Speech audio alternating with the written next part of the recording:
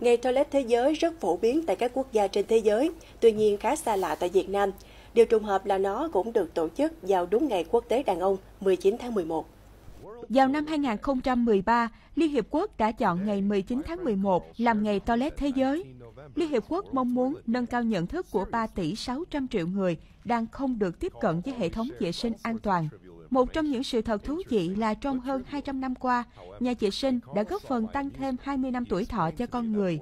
Với một đô la Mỹ được đầu tư vào nước và vệ sinh sẽ thu được 4 đô la Mỹ với hình thức giảm chi phí chăm sóc sức khỏe trên toàn thế giới.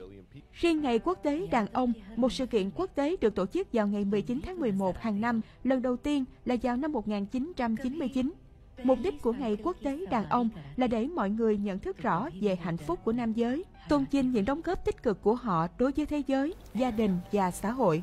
Ý tưởng này sau đó được chấp nhận và lan tỏa trên phạm vi toàn cầu.